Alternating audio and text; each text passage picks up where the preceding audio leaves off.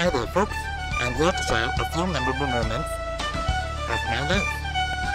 This is me when I was just one month old. My master Deepak rescued me from a bunch of cruel, mean people.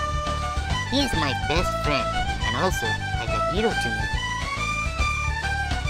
Some say I look exactly like Bugs Bunny, but look at me. I'm ten times more cuter than that guy. Yeah, life's good when you're a rabbit. Food and more food. Did I mention about the food?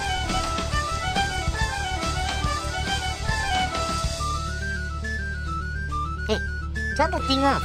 I'm heating you, man. Come on. But the best part is, is resting between two comfy slippers. Now that's a life. And here are my two playmates. This is Teddy, and here's Betty. These two, let me just say, are just friends. On.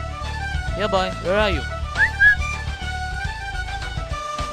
Oh no, my master's here. He doesn't know that I can talk. I'll catch up with you guys later, okay? Bye.